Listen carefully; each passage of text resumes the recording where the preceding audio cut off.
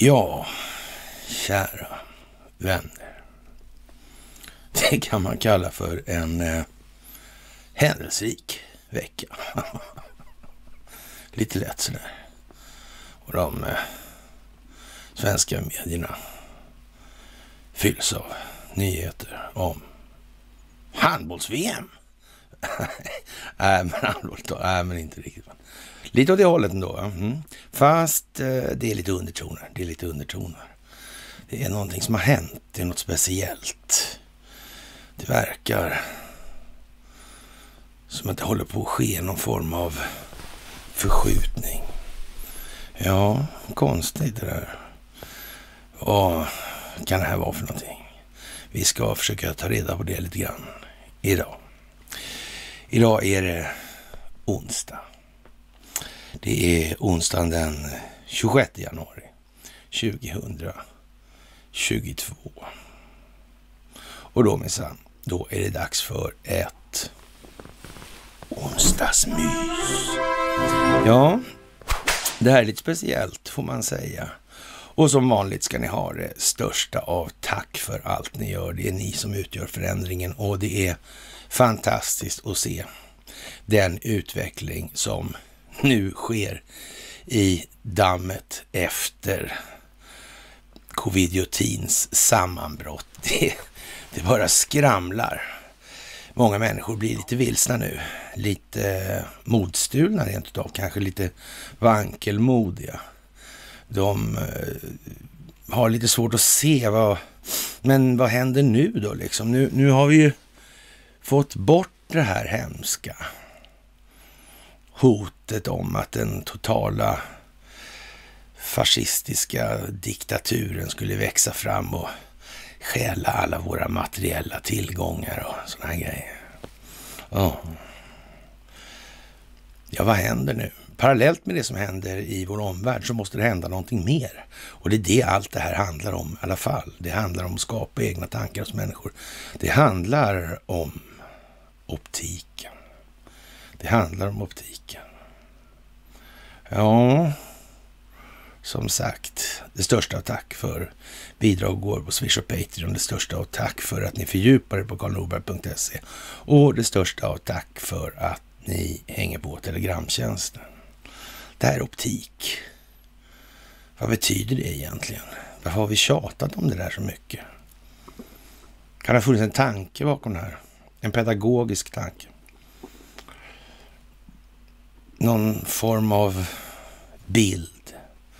Alltså, som ska bli självklar, alltså sätta ord på sig själv. Vad handlar det här om egentligen alltihopa? Ja, det handlar om att exponera den djupa staten. Exponera den djupa staten, ja. Aha. Ja, den djupa statens modus operandi, att verka utan att synas. En teater det handlar om att eh, göra det på ett sätt så att människor förstår. Det handlar om att göra en slags teater. Det är också en teater om teatern. En bild av den konstgjorda bild. Så att den just är konstgjord. Men det här måste spelas på ett sätt så att folk kan anpassa sig i sin förståelse till rådande omständigheter. Det vet ni. Det har vi tjatat massor om. Amerikanerna har kommit rätt långt. De tog ett megakliv sista dygnet och kommer ta ett par megakliv till närmsta dygnen. Var så säkra. Det där med värde.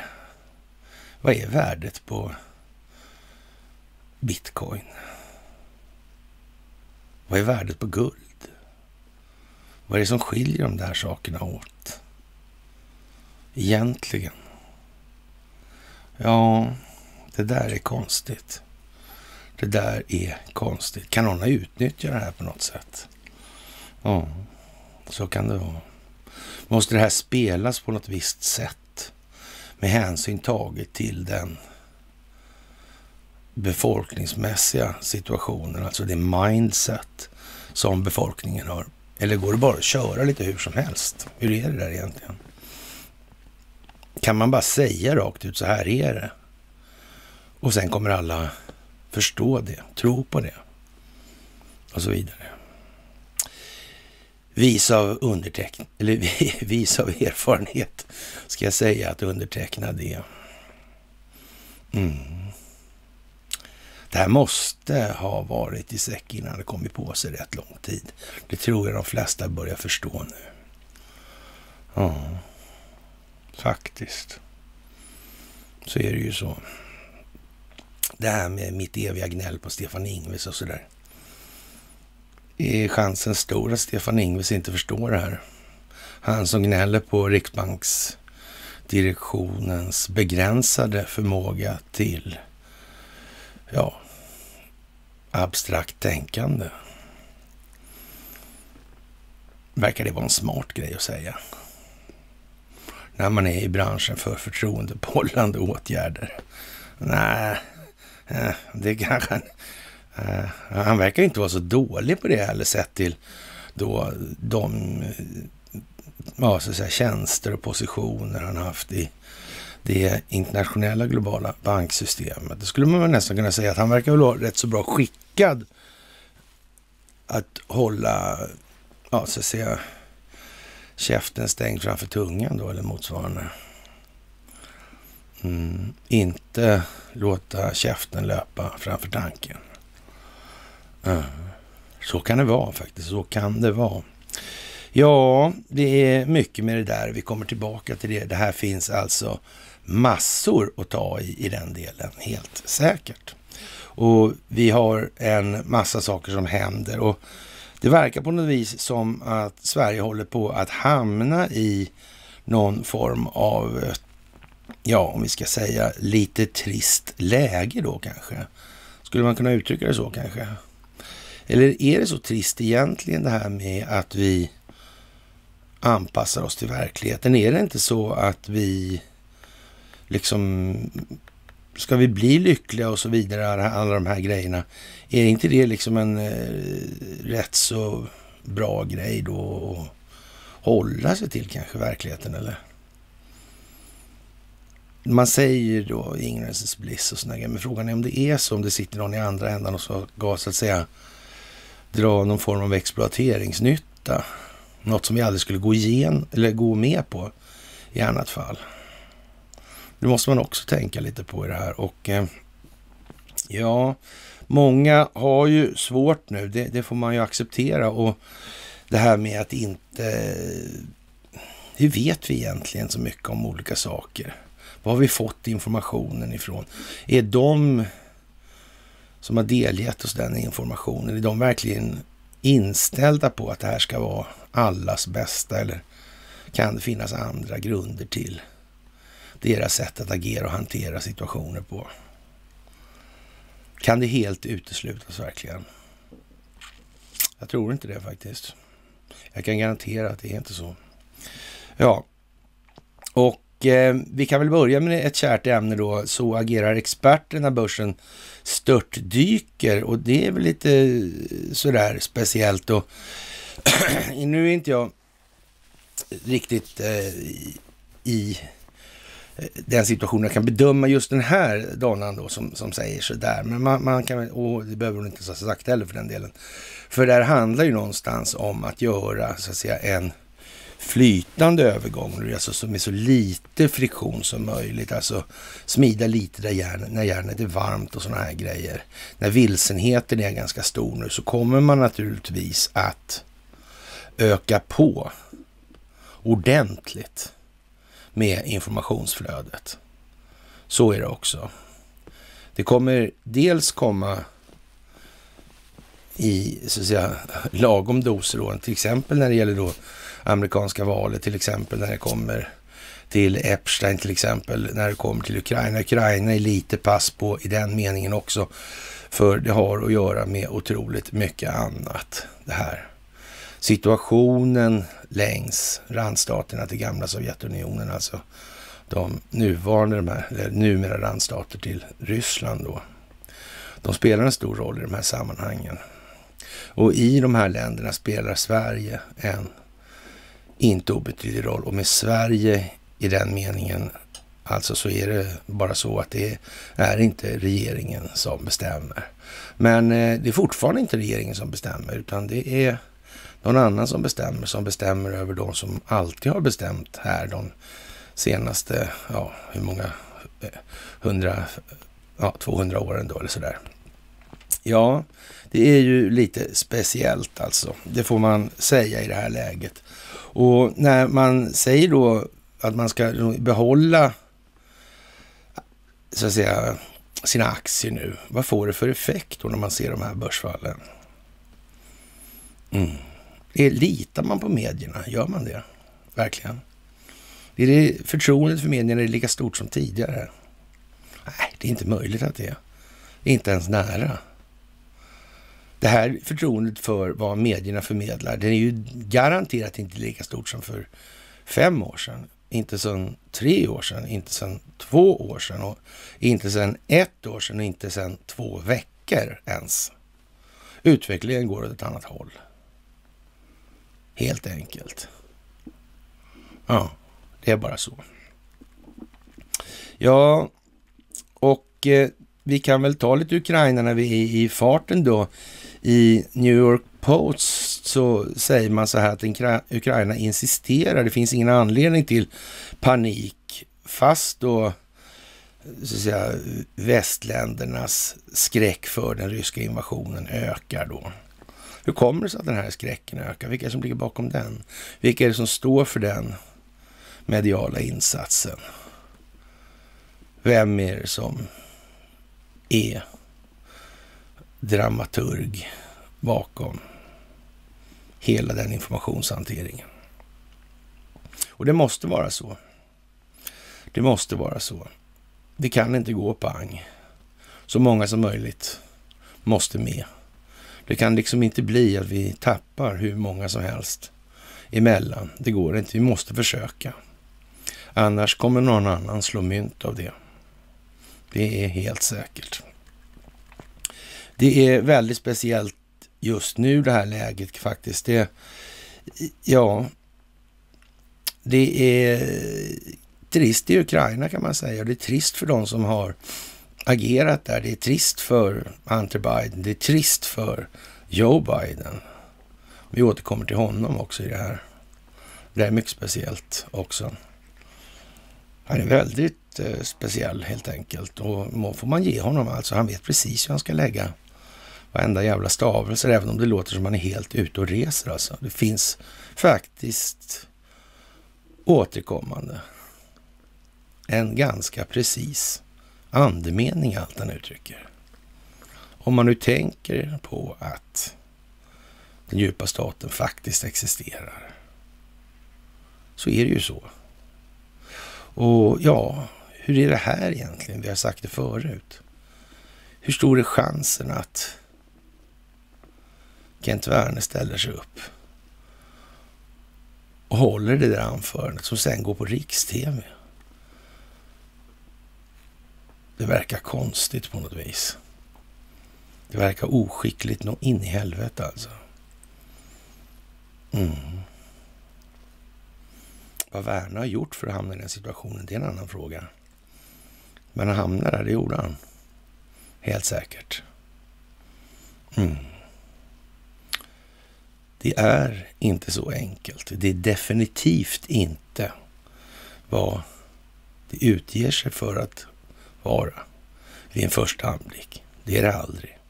Det är inte det det här går ut på. Men nu, nu går det ut på att exponera vad det här egentligen är för någonting. Och det måste man göra med samma metod. Så är det. Och det är klart, ett antal människor är naturligtvis under rätt så klara direktiv vad de ska ägna sig åt. Det är bara så och ingenting annat. Det här är planerat. Det var ingenting som någon kom på en solig morgon. Liksom att ja, nu blir jag president där och sen så ja, sen tar vi och ser vad vi ska göra. Så är det inte. Man kan säga att de fyra åren, det var så att säga ja, början på den öppna delen eller vad vi ska kalla det för. Som sen kommer nu alltså. när då residenten huserar i Vita huset eller källaren då. Nej, men i sin lilla studio där. Ja, det är lite tjusigt kanske. Jaha, och eh, det är naturligtvis så att EU är ju en fantastisk konstruktion. Det vet vi ju alla då och eh, vi har ju sagt det återkommande. Vad ska det bli av de här? De här överstatliga organisationerna, de är ändå skapade någonstans med ett givet syfte. En given mening och den meningen är inte att gynna det allmänna. Det är inte samhällets långsiktigt hållbara utveckling. Det är någonting annat. Det är ett enskilt intresse i det här och för att skydda sig själv så på, ja, ska vi säga, rent mekaniska grunder så måste det här intresset då utveckla och utöka sina maktbefogenheter för att inte folk ska så att säga börja agera i saken. Och de här drakoniska åtgärderna med covid och nu håller det på att bli som det blir med covid-diotin. Ja, konstigt. Mm. Ja, vi får väl se. Risken är ju att många hamnar i en situation efter det här nu där de har gjort sig själva helt omöjliga i vartenda sammanhang helt enkelt. Varför stå och skräna om saker som faktiskt saknar betydelse för den långsiktiga utvecklingen? Saker som, ja, inte spelar någon roll egentligen. Mm. Det är många som är oroliga. Det är så. Av olika skäl också. Jaha, och eh, som sagt det här med EU då och när Expressen börjar då publicera då en lista på 2021 års värsta skatteslöseri och EU går i topp alltså. För några covidioti-fonder. Ja, då är det speciellt får man säga. Om det sen framkommer att själva covidiotin är en ren blåsning, ett eh, massmedialt opinionsbildningsstunt, som jag tror vi har sagt vid fler än ett halvt tillfälle. Ja. Blir det mer populärt i Bryssel då, eller verksamheten? Eller mindre? Kan det vara tanken? Från början när vi sa de här sakerna med att det är några saker som måste inträffa i det här. Till exempel att eh, EU kommer haverera i sin nuvarande form. NATO kommer haverera. Israel i sin nuvarande form och tappning kommer haverera. Mm. Finns det några tecken på att de här övergripande organisationerna faktiskt har någon form av problem just nu? Eller är allting bättre än någonsin? Hur är det där egentligen? Jag tycker det verkar lite, ja, om vi säger så här. Det finns svaga antydningar om att det håller på att börja röra på sig. Ja, ingen däremot hoppas jag. Ingen däremot. Jaha, och eh, EU då kom på den briljanta idén att under coronapandemin har EU-ländernas infört restriktioner då mot varandra för att förhindra smittspridning. Nu har dock alla länder godkänt en gemensam rekommendation då att garantera den fria rörligheten framöver. Och från den första februari blir det EU-medborgarnas personliga eh, ko, vad heter det? Ja, ko, jag vet inte, covidioti-certifikat då, då. Och eh, ja, som gäller. En person som är färdigvaccinerad, nytestad eller som nyligen haft covid-19 ska därmed inte avkrävas extra tester eller karantän alltså. Och ja, som sagt, det kommer ju bli många som blir rätt missnöjda nu. Så är det ju. Och det är bara så det måste bli. Och visdom är vad det är. Och det är hela det lidande som måste till nu för att människor ska utvecklas. Det är bara att hjälpa till och bidra. Det är ledning till upplysning, till vidare ledning och upplysning, precis som vi har sagt hela, hela, hela tiden. Och eh, ja, vi delar lite eh, artiklar som vi skrev, eller som jag skrev för rätt så länge sedan då, runt 2003-2004 och sådana här grejer. Alltså det är ju ganska så länge sedan. Det, det börjar bli 20 år sedan sådär alltså. Och det där är lite udda alltså. Hur lång tid det här har tagit. Det får man nästan tycka själv faktiskt. Det är ju rätt, så, rätt så lång tid alltså. Ja, ja, ja, ja. Jaha, och eh, många saker går ju igen nu naturligtvis. Och jag, jag ska väl i ärlighetens namn säga att jag tycker att det kanske möjligen ibland blir lite väl mycket då i, i det här. Och, och jag vet inte, det är väl ingen annan på den här planeten som har hållit på och ältat vad Axel Oxenstierna sa hit eller dit liksom. Och, om Stockholms det, det är ju inte det alltså, utan det har ju, det kommer från en och samma källa här då och sådär. Och det, det, kan man ju tycka, ja, men det syns mig i alla fall lite konstigt att det går, det går, man går så hårt in på nu. Och, ja, och eh, när det gäller den här artikeln då i Dagens Nyheter idag så måste vi ju nästan säga att det där är ju, ja, det är ju mycket speciellt alltså. Och sen är det lite tragiskt också då när den här journalisten P.O. Tidholm då, han skriver en artikel som är Här är 17 handfasta tips om Norrland till den nya regeringen och då måste vi väl nästan koppla till den här regeringen då. Varför blev den här regeringen så här? Med den socialdemokratiska korruptionen exponerad så jävla mycket det bara går. Ja. ja, där kan man ju säga att man rycker i alla fall botten ur den ekan så det räcker och blir över. Vidare har ju den här PO då, han har en, en, en, rad olika idéer om saker och det handlar ju alltihopa då om att i Norrland har vi ett Indien naturligtvis, men de här jävla indierna då, då som måste tydligen få hjälp i det här då. De vill inte släppa och det må ju vara så och det kan man faktiskt förlåta eller acceptera för ja, om vi säger som så att det, det är ju kalla papper på i alla fall då sedan 1350-talet med det här bottniska handelstvånget. Det har ju varit stålhårt i den meningen och eh, den här PO då, han börjar med att ursäkta sig då, jag är journalist, alltså jag problematiserar men kommer inte med förslag på lösningar och jag jobbade i 30 år. Så på det viset, alltså jag har åkt runt och hittat fel och skrivit inkännande och intjänande av mjölkbönder på randen till konkurs och samer vars existens hotas av nya gruvor. Med, med det sagt är det klart att jag har tänkt lite på vad som vore möjligt att göra. Somliga är självklara saker, annat kanske lite mer fantasifullt betingade då. Men eh, ja, han ber om att man ska tolka allt han skriver bokstavligt, det blir roligare då. Helt enkelt. Och det är ju ett anslag som är värt att, att ta till sig kanske då.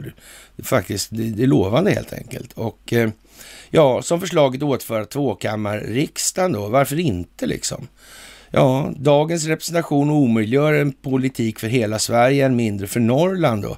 Huvudstadsregionernas fasta mandat i riksdagen har ökat från 57 till 68 på fyra decennier. Även Göteborg och Malmö har fått fler. Skogslänen får allt färre. Parlamentet styrs av politiker som representerar, representerar Sveriges storstäder och levererar urbana lösningar på nationella utmaningar. Och vi kan väl ta det fantastiska exemplet med Stureplanscentern alltså.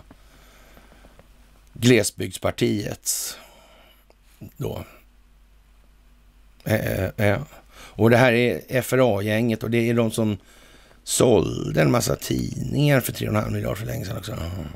Det där kom Maud ifrån också förresten, på tal om den typen av moralisk disposition. Kan det vara något att tänka på? Jag vet inte. Kanske det, kanske. Jaha. Ja, ja, ja, ja det är ju speciellt. Klimatkrisen är en sån här grej, så den är förvisso global, men det kan vara svårt för riksdagen att förhålla sig till. Alltså, jaha. Och nu ska Sverige ställa om då för klimatets skull, och för det ändamålet behövs mer mineraler, mer trä och mer biomassa och mer energi. Det är verkligen inte givet att mer tillväxt är bästa receptet, men nu är det den idén som gäller och det är Norrland som ska leverera allt det här då, då. Politiken och kapitalet blickar återigen norrut. Affärspressen summerar tusentals miljarder ska investeras i det närmaste decenniet och hundratusen arbetstagare saknas. Mm.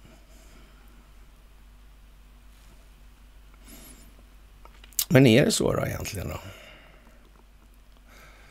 De här eh, 100 000. det finns ju inte 100 000 i Norrland, är det så? Eller säga, men... Ja. Kan det vara en del i hela den här optiska matrisen? Alltså det... Kan det vara det? kanske man ska tänka på.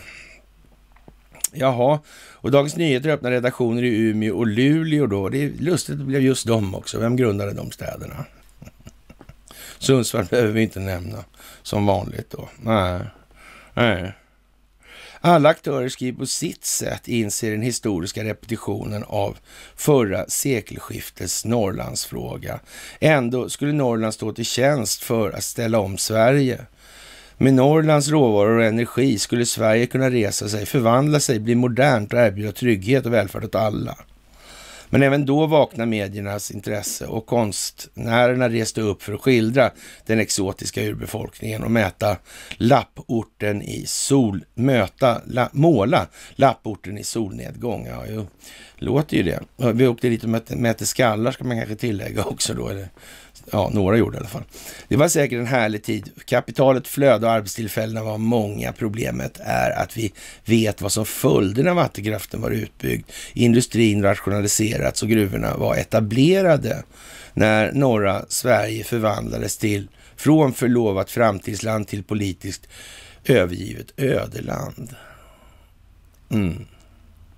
Men i den skrivningen så glömmer han ju då kanske att den norrländska befolkningen får faktiskt ta tag i det här själva också. För annars kommer det någon från Stockholm och exploaterar det här.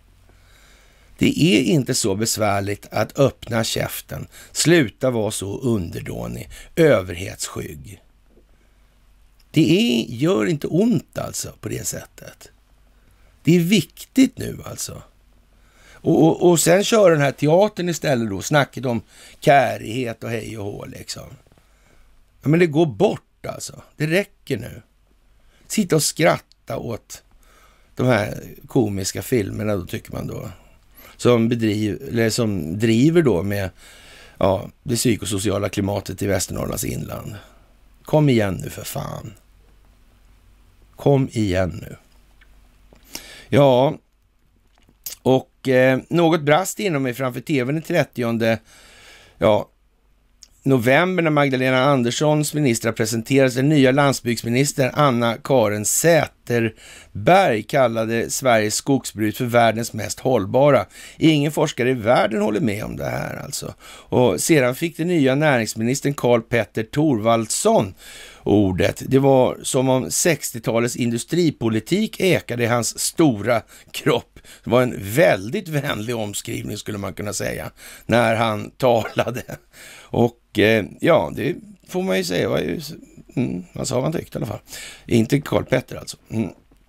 Det är inte så, inte så att vi tar lätt på miljöfrågor, men ja, vi älskar gruvor i Socialdemokraterna, sa han ja. Jaha, de älskar gruvor där, jaha, bara sådär med automatik. Alla socialdemokrater tillsammans gör det. Och, och, det kan man ju faktiskt säga, det är ju en ganska så bra beskrivning. Det finns ju en kontextuell mening i det här då. Och kanske är det därför som Socialdemokraterna faktiskt sitter ensamma nu i regeringsställningen. Just av den anledningen. Det är ju inte just så överallt helt kritvita manschetter, det kan man inte påstå. Nej. Man skulle kunna säga att det är några riktiga skitgrisar ur ett moraliskt perspektiv. Va? Det är väl ingen överdrift, vågar jag nog påstå. Annars hade vi nog inte varit där vi är. Nej. Jaha, och eh, ja, en mängd norrländska ödesfrågor har vuxit till surdegar på departementen under Socialdemokraternas samarbete med Miljöpartiet, framförallt tillstånden att öppna gruvor i Gallok och Laver. I Jokkmokk respektive Älvsbyns kommuner. Och, eh, men det handlar också om vindkraft och det kommunala vetot. Moderna miljövillkor för, miljövillkor för vattenkraften, strandskyddet, äganderätten. Den sitter naturligtvis extra hårt i Norrland. Och det är inget plus. Det är inget plus i det här. Allemansrätten, skyddet av fjällskogen och de samiska markfrågorna. Ja, det är ju mycket, mycket speciellt när det här kommer upp. Och ja, vad ska vi säga? Koloniseringen av Norrland är förvisso ett historiskt faktum när kyrkan etablerades vid älvmynningarna under medeltiden var det för att ta upp skatt. Och när Gustav Vasa framåt 1500-talet i ett penndrag allt det som öde är tillhör Gud och kronan, tyckte han var en bra idé då. Och lade under sig hela Norrland var det också för att kunna beskaffa landsändans glest utspridda invånare, alltså beskatta menar. Och Axel Oxenstierna skuldsatte Sverige svårt när han gick med på att betala den danske kungen tio tunnor guld i Älvsborgs lösen. Det är ett exempel också. Men pengar fanns möjligen att hämta norröver då. När man hittade silver i Nasafjäll skrev han hans riksråd Karl Bonde till honom att fyndigheten med Guds hjälp kunde göra Norrland till vårt eget Västindien och det där var ju någonting han tog fasta på då. Och det är ju lite sådär, äh, jaha, sådär ja, sådär ja. Ja, referensen är ingen slump alltså.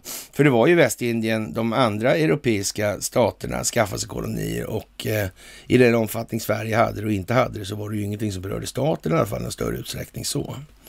Och det där har vi ju faktiskt, jag vet inte hur många gånger vi har pratat om det här nu. Många gånger i alla fall. Nu kommer det alltså i Dagens Nyheter och eh, nej men så kommer ju då åt, har faktiskt inte missat alltså, Ja, typiskt alltså. Sedan kan man rada upp mer sentida exempel också.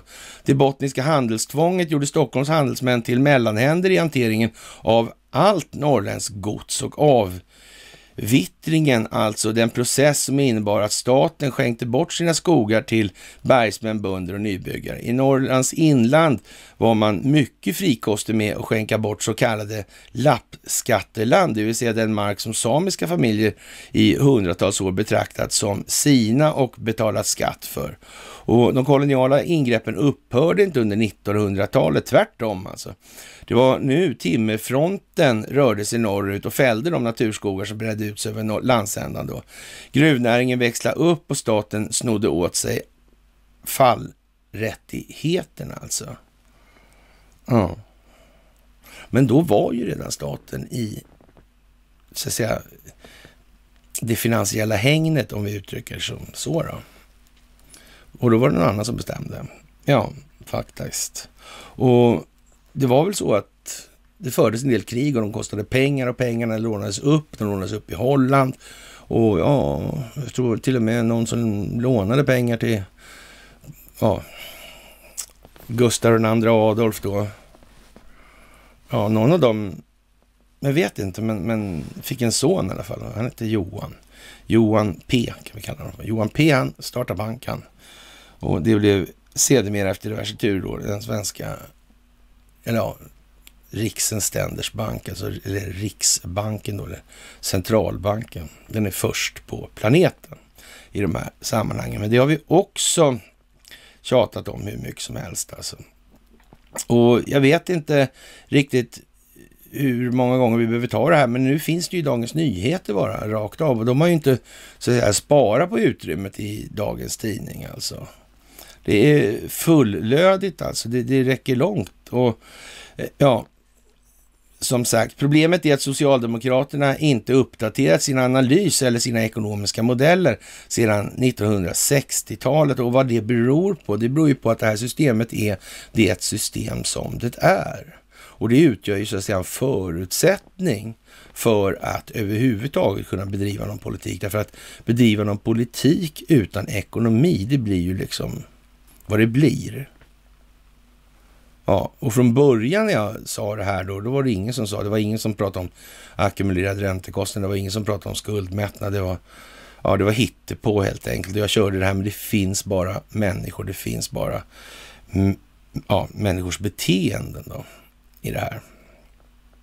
Då blev det ramaskri alltså, för då, och ett av försökte man att man skulle inte lyssna på mig, för alla de där hittepå-orden, de var bara tokiga helt enkelt, bara tokerier. Men en viss eftertanke fanns ändå bakom de här tokerierna. Och där sitter vi nu. Och det är ju bra, faktiskt. Ja, som sagt, och eh, de tycks fortfarande tro, då Socialdemokraterna, att gruvor skapar jobb, att gruvjobb genererar skatter och att skatter i sin tur på ett magiskt sätt förvandlas till välfärd åt alla. Om man får hugga ner fjällskogen blir det lätt arbetstillfällen. Då får då blir det hemtjänst som om samhällskontraktet var intakt, som om dagens industriella ekonomi fungerar som under 1900-talets mitt. Ja, det är ju det. Det är ju det här med ekonomin alltså. Och det stora problemet är det valutafinansiella systemet. Och nu är det skuldmätta. Det här systemet är alltså predestinerat att haverera var 50 år i princip då. Och sen har man då lyckats hålla liv i det här då och man har då från båda sidor, som, ja, sidan som bekämpar den djupa staten och sidan, djupa statens sida då, har inte hjälpts åt, men så att säga plockat poäng på den andra parten då, eller försökt plocka poäng på den andra parten i det här. Och ja, vad, vad, vad kan det här bero på? Jo, det är för att det blir skuldmättat alltså. Det är bara så. Den här enskilt kontrollerade räntebelastade skulden den drar med sig en kostnad som bara växer med tiden.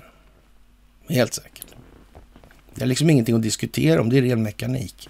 Och alla de här rök och speglar-fasonerna som de håller på med, nej, går bort. Så.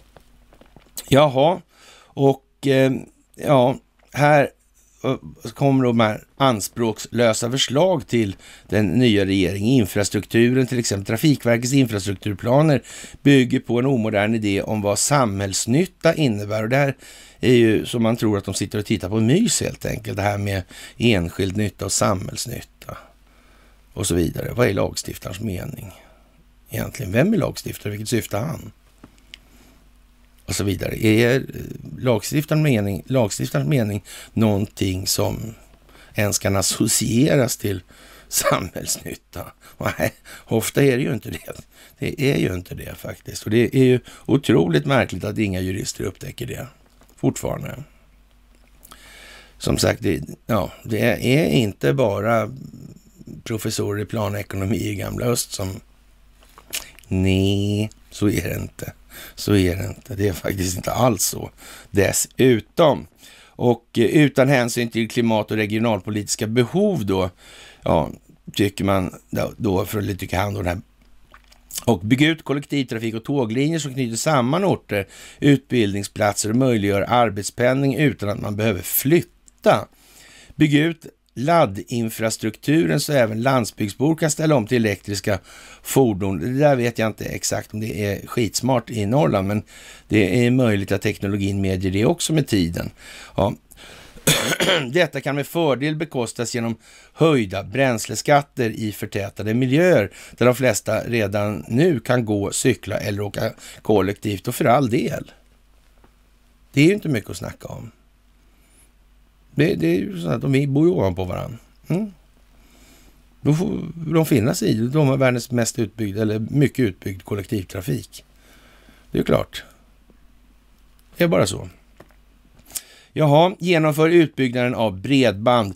Bygg Norrbotniabanan hela vägen till Haparanda. Och eh, det här med marknadisering, nu kommer man väl in då på den här värdejournalistens ja, så säga, analytiska förmåga gällande då den valutafinansiella situationen ur det geopolitiska perspektivet och den är kanske inte fullödig då om vi säger. Det är kanske, det här är lite romantiskt då, så det kan vi, ja, ja, Ja, det, det, är ju lite sådär. Stoppa privata, vi kan väl säga så här då. Stoppa privata företag från att plocka russinen ur samhällskakan. Privata aktörer som sköter vård, skola, omsorg, post och telekommunikationer, medicinförsörjning och tågtrafik ska inte kunna välja ut de mest lukrativa delarna av en verksamhet.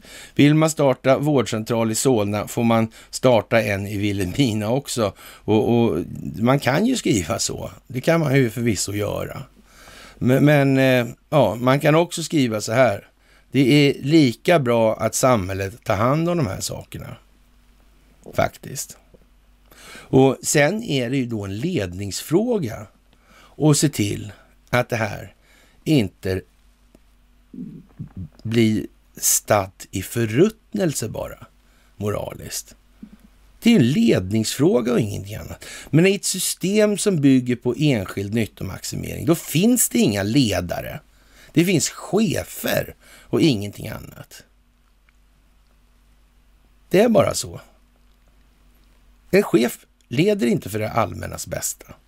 Den kan göra det möjligtvis, men inte per någon som helst automatik alltså. Så är det inte.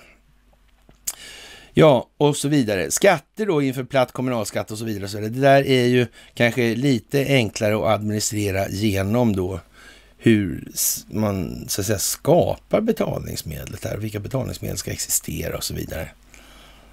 Vad ska kunna godtas som allmänt betalningsmedel och varför ska det vara på det viset? Vilken, av vilken anledning liksom?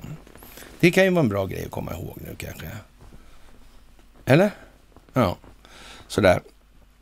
Och eh, ja, det, hela skattesystemet är ju naturligtvis ett skämt alltså eftersom det, det förutsätter ju det här betalningsmedlet och har man inte ens tagit med i kalkylen vad det här betalningsmedlet i sig innebär funktionsmässigt och karaktärsmässigt. Alltså, då, ja, men då blir det ju lite snett helt enkelt. Det är bara så. Jaha, och eh, ja, Utbildning, det är naturligtvis decentralisera högskoleutbildningen och bygga ut nätverket av kommunala lärcentrum för distansstudier i lands och glesbygderna. Utveckla teknik och pedagogik och digitala lektioner på alla nivåer. Betrakta förskolor och skolor som en del av samhällsstrukturen, inte som isolerade poster i de kommunala nämndernas budgetar. Nej, det är ju så att säga, det är målsättningen med de här grejerna som är modellen alltså. Men det, det, blir ju också förfelat när man har hållit på som man har gjort då med språkvården, med utbildningsväsendet, med medierna och så vidare. När man då i någon form av sam, samklang och harmoni hela tiden har eftersträvat att gynna de här enskilda vinstmaximeringsintressena. Då blir ju allting förfelat till slut. Men nu står vi ju där vi står. Och det är näppeligen någon som missar det här alltså. Vad anbelangar nu jordbruket då, så kan man väl säga att Sveriges extremt låga självförsörjningsgrad, är ett hot mot landets resiliens och gör oss beroende av ett klimatförstörande matindustriellt komplex. Och det här har ju vi varit inne på också vid ett halvt tillfälle. Ja, det är ju jordbrukspolitikens syfte bör vara att stimulera en småskalig produktion av mångfald, inte att belöna upprätthållande av monokulturer. Nej. Och jag ska vara ärlig och säga att jag är inte säker på att han inte fattar de här grejerna jag uttrycker att han inte fattar. Eller jag antyder i alla fall att det här kanske beror på hans valutafinansiella förståelsen. Men samtidigt är det så här också, det kanske är läge att när det här nu kommer att, så att säga, inte ta en sån här stor elefanttugga om man så här liten mun, va? utan man tar lite mindre istället så kan man tugga den, så svälja den och sen så kan man möjligtvis ta en till då. då. Så. Men typ så. Ja, Eh, utmana lagstiftningen kring offentlig upphandling. Det som kan köpas lokalt ska alltid köpas lokalt. Ja, kan där alltså. Det innebär ju då att det, man, man kommer ju få någon form av prissättningsmekanism som blir skev alltså. Inget starkt argument kanske. Men som sagt, vi, vi, man, ja, Men jag tycker inte det är schysst att lura sådär, alltså, om det är så han gör. Det vet inte jag, men, men det skulle kunna vara så alltså. Ja. Jaha, kultur då? Stimulerar fria kulturlivet utanför storstäderna. Offentligt finansierade institutioner ska nu ska tvingas att ha uppsökande verksamhet och det kan man väl säga så här, det är väl lämpligt alltså. Det är ju så att se till att medborgarna i samhället faktiskt tar sitt demokratiska ansvar, om vi nu ska uttrycka det som så. I alla fall målsättningen att det ska bli då en riktig demokrati, för det måste alltid vara målsättningen, även om vi inte aldrig kommer nå dit, så det måste det alltid vara den riktning vi har på vår strävan. Det är viktigt att komma ihåg det här. Det är precis som det här med att man har faktiskt bara en skyldighet i världen egentligen, mot sig själv och andra. Och det är samma. Det är den ökade självförståelsen. Den ökade förståelsen för de egna känslogrunderna och värderingarna. Det är det så, bara. Jaha, och eh, det blir ju lite fantastiskt det här. Alltså. man, man går upp på morgonen så, så, ja, inte så tidigt som jag går upp, så då, då kan man säga då har inte de här kommit än, men de kommer sen. Ja, och eh, ja, de läggs ju ut på tider så, där, så ibland så kommer det tid också. Men eh, lagstifta om avgiftsfria kulturskolor till i landets samtliga kommuner. Ja, alltså det vet inte jag det här med, med kollektivtrafiken egentligen. Man betalar väl inte skatt, eller så betalar man inte skatt för det, men det är som sagt det är oerhört svårt då liksom och så får man mäta då vad är samhällsnyttan av det här egentligen. Men just nu kan man ju inte säga, för det där är någon form av vinstdrivande verksamhet. Där, och jag vet inte om det är särskilt lämpligt, alltså säga eh, vital samhällsinfrastruktur ligger i händerna på enskilda nyttomaximeringsintressen. Eh, som jag ser det så är det liksom någonting som inte är så där jävla helt lyckat alltså. Men någon får gärna förklara för mig vad det är som är så bra. Och en del säger då att då kommer ingen göra någonting. Alltså ingen kommer göra någonting. Men jag vill påstå att det finns en massa med idrottsföreningar till exempel. Folk får ingenting betalt alls. Det finns massa olika typer av verksamhet som faktiskt människor gör och bedriver helt utan ersättning. För de vill. För de tycker det är viktigt. För de brinner för det. Och jag blir ju lite sådär, äh, igår kanske inte var på mitt soligaste humör alla dagar, eller alla timmar. Men, men äh, och, och, kanske någon skickar då så här om de här stackars sjuksyrorna nu med, och de gnölar på lönen och sådana grejer. Men jag är inte säker på att just om... Eh, är lönen det primära då? då? I det här. Om lönen är det primära, då kanske de inte skulle ha det jobbet till att börja med. Då skulle de väl ha något som de tjänar bättre på. Och är det som de gnäller på ett ställe nu så, ja, då kan de söka hos stafetten liksom och så tjänar de jättemycket pengar istället. Det, det är ju liksom så. Jag vet inte. Alltså, man ska inte underskatta den här betydelsen av det här med ett ja, mer genuint eller själsligt engagemang i olika frågor. Det är faktiskt viktigt. Det är på slutet, nedersta raden i bokslutet, när man, innan man slår igen ögonen. Ja, det var det viktiga. Det var kontakten med andra människor och så vidare. Det var inte prylarna, det var inte den filosofiska materialismen. Det finns ingen som ångrar att man inte köpte den på dödsbädden. Nej, det gjorde det inte. Det finns ingen som tyckte det. Ja, ska väl vara någon svensk då möjligtvis. Men ja, på resten av planeten är det svårt att tänka mig i alla fall. Men ja, ja, lite sarkastiskt. Och sidor då, då sådär. Jaha, och tillgången till vård är idag beroende av regionens skattekraft och status som boendemiljö för vårdpersonal. Ja, en genomtänkt storlänsreform eller ett statligt huvudmannaskap kan bidra till likvärdighet. Både Norge och Danmark har i närtid genomfört vettiga reformer för att inspireras av. Att inspireras av. Fasa ut bemanningsföretagen och höj lönerna.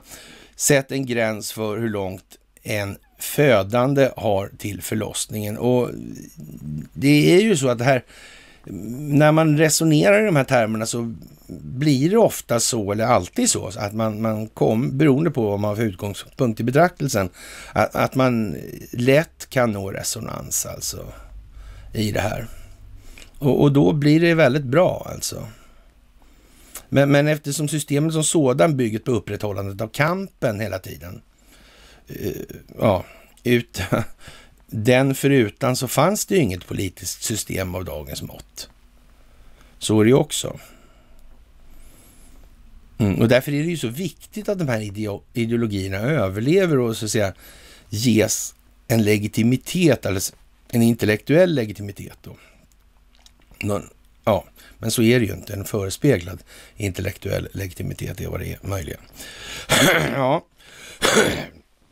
Och som sagt, tillgång till kapital är avgörande för såväl företagande som bostadsbyggande. Men det här är ju resonemang då som ligger inom ramen för det här ekonomiska systemets valutafinansiella del. Alltså det blir ju påverkat om alla pengarna ska gå till räntor. Och, och det man har kommit fram till nu i amerikanska medier, det är att man kan på något märkligt vis, det är, det är klart de vet det här, men de får ändå ta det i delar. Va? Det är, är liksom lite mustugger av elefanten nu. Men det är i alla fall tugger i den delen. Och, och eh, det går inte att ha hur hög icke-produktiv belastning som helst, alltså finansiell belastning då, på den realvärdeskapande eller produktiva delen av ekonomin. Det går inte. Då växer ju bara räntorna ännu mer. Den ackumulerade räntekostnaden växer ännu snabbare då om man har för mycket. Ja, och det blir så efter skuldmättnad. Det är bara så. Det kan inte bli på något annat vis. Men det där tror jag ni har klart för er och eh, ni har ju också klart för er en annan sak att just det här, eller just den här kanalen, den är ju liksom inte till för, eller till för, får, alla får gärna titta och, och det är jätte, naturligtvis bra ju fler som gör det. Men, men vi rör oss alltså inte i eh, handbollssegmentet så mycket som många andra gör helt enkelt. Det är ju så. Och, och, men för någon måste ju göra det här också. Det är ju så. Och, och de som har hållit på längst, det är ju de som har hållit på längst naturligtvis. Så, ja, det blir vad det blir då därför. Man har hunnit prata mer eller skriva mer eller vad man nu har hunnit gjort för någonting. Och det här med turism och så vidare. Och eh, demokratin då i frågan, den är väl, eh, ja, vi ska väl läsa det här först då. Att återinför tvåkammarriksdagen då. En ledamot från varje kommun oavsett storlek ska utses i lokala val. Geografi, inte bara demografi, bör påverka samhällsstyrningen i en enhetsstat. Inför mellanårsval till kommun. Ja, titta. Ja. Eh, region och riksdagens andra kammare genomför storlänsreformen på ett sätt som inte bryter upp residensstädernas nuvarande makt, eller som bryter upp residensstädernas nuvarande maktkoncentration. Genomför kommunsammanslagningar där det är geografiskt möjligt. Låt kommunerna samordna och eller köpa tjänster av varandra. Men, men frågan, ja det kan man ju hålla på och, och göra i och för sig, det, men det blir mer ett internt bokföringstrick, ungefär som i militären när man hade sådana här orgopel förut, kostnadsställe och kostnadsbärare. Och, och, så höll på med en intern redovisning av pengar som aldrig egentligen fanns då i det här. Och, och om man ska vara lite kritisk kan man ju säga då att eh, man orkar ju inte ens tänka sig på den tiden det fanns rekvisitionsblock.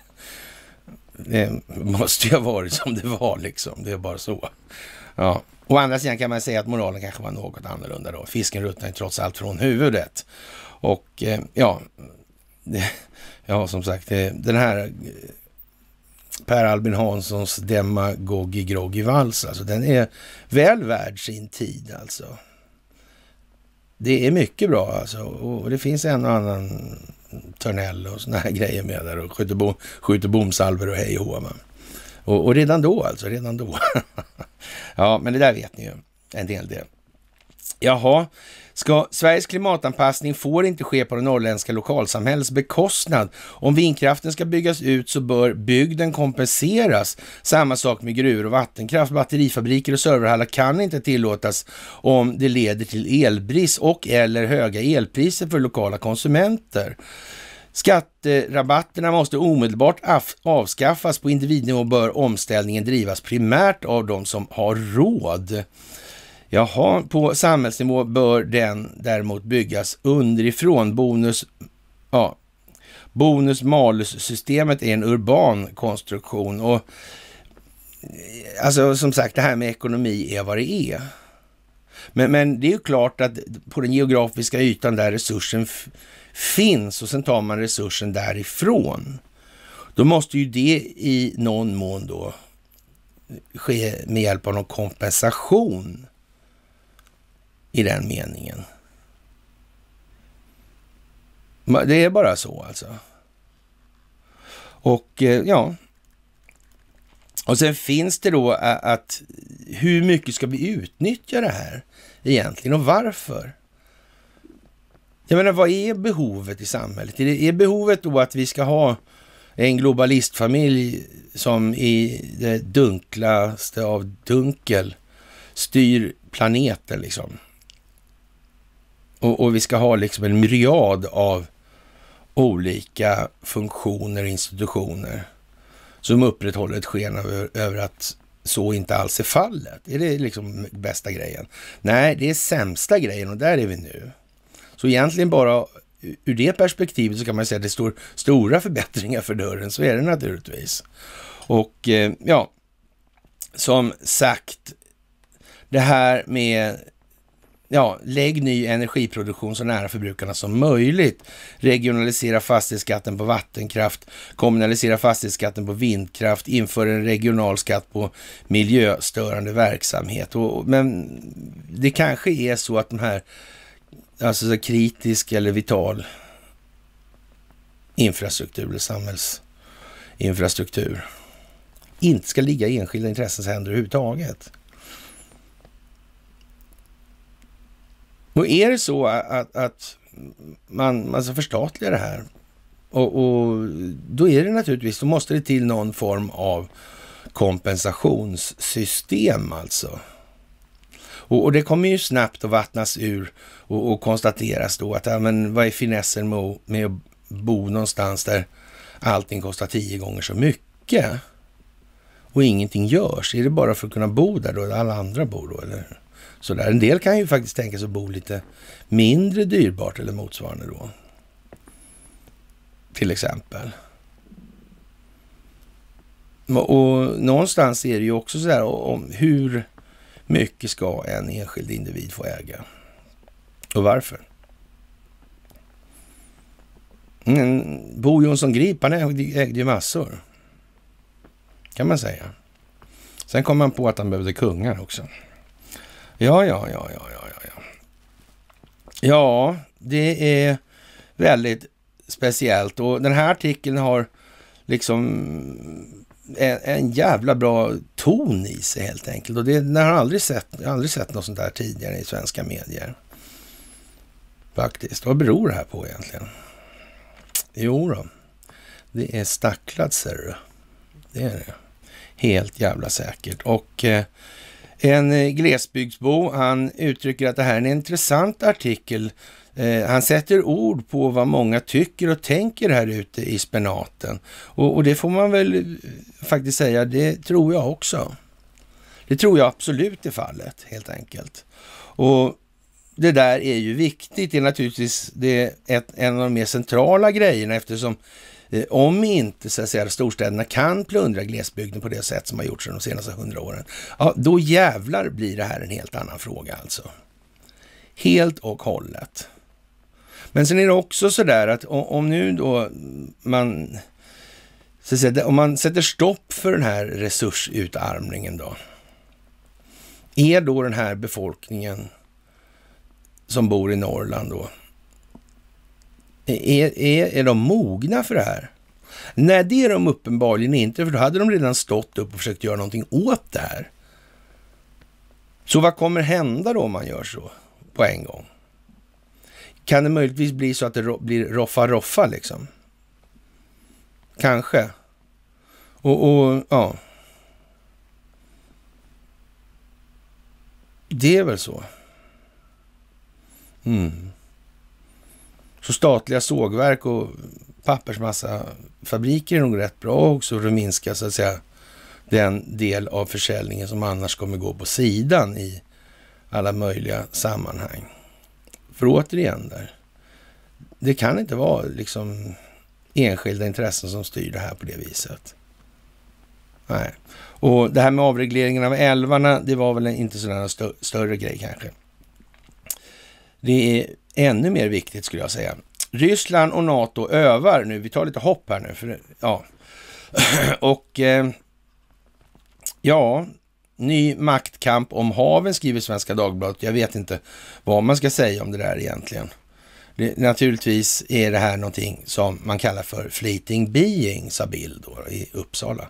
Ja, och eh, ja, jag höll på att säga, de bodde ju i Teckomatorp, de här katterna, men det gjorde de, Pelle Svanslös katter, det gjorde de inte alls det. Och jag kommer inte ihåg vad det heter där nu, bara för det. Ja, Bill och Bull och Måns där, i alla fall, och Maja Gräddnos. Det handlar här om optiken alltså. Man ska påvisa att teatern är en teater just. Och folk ska se det. Jag menar det här med att köra hangarfartyg. Det är ju rätt många som har hört talas om de här hypersoniska vapnen. Alltså. Mm, det är jättesvårt att värja sig mot sådana. Mm. De kommer med en jävla hastighet alltså. Mm. Det där är knöligt faktiskt.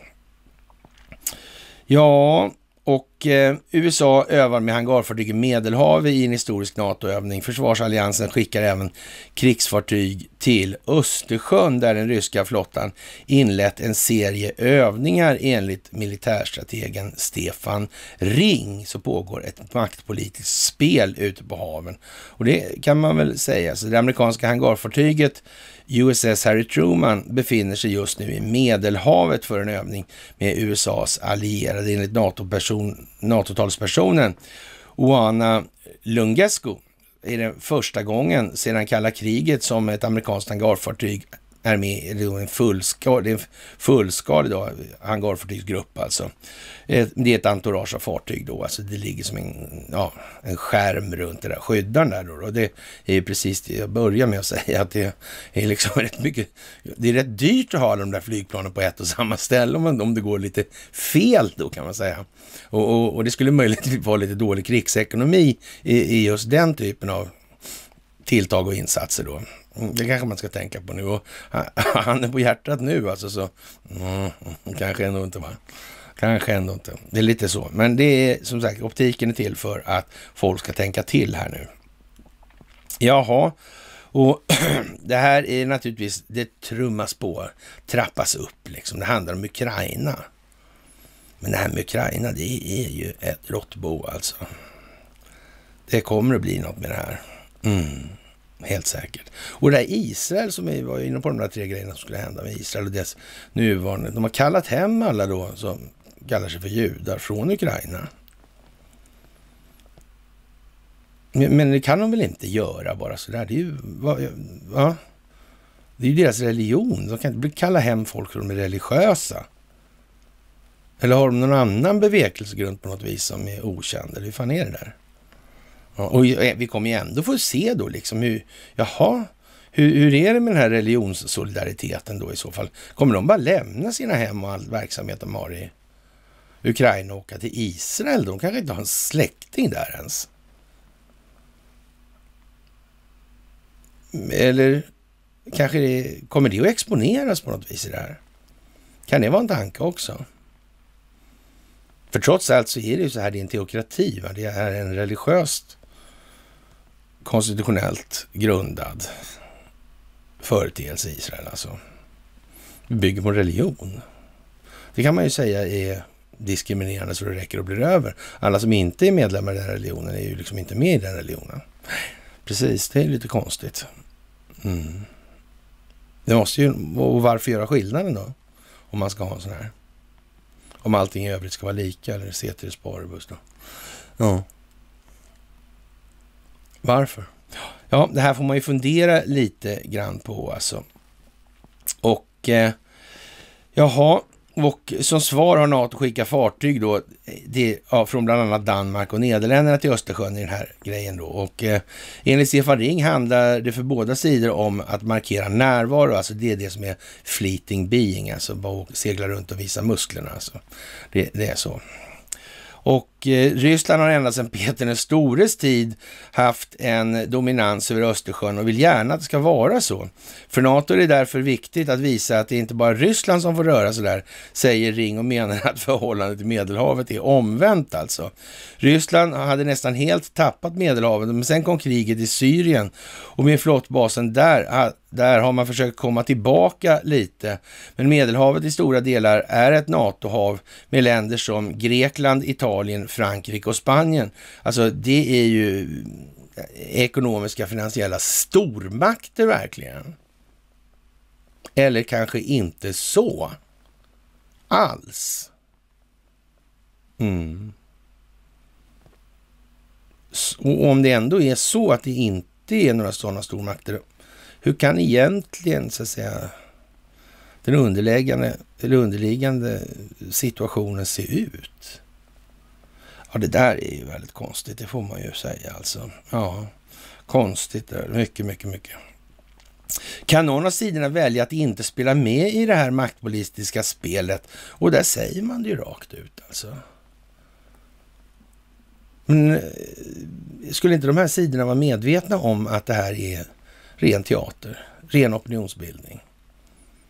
Det är klart de vet. Men det finns ett problem i det här. Alla militärer är garanterat inte moraliskt fulländade. Det låter inte som något svårt antagande och det är det inte heller. Och det i sin tur för med sig en massa saker.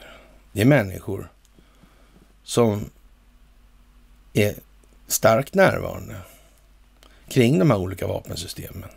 Och om de här människorna lyckas organisera och ko koordinera sin verksamhet, då kan de ställa till saker. Att röka ur de här människorna, det är inte så lätt som man tror. Det är liksom inte bara att ta fredagsuppställningen och säga ni som jobbar åt den djupa staten, höger hand upp, så gör alla det då som är det. Nej, så är det inte.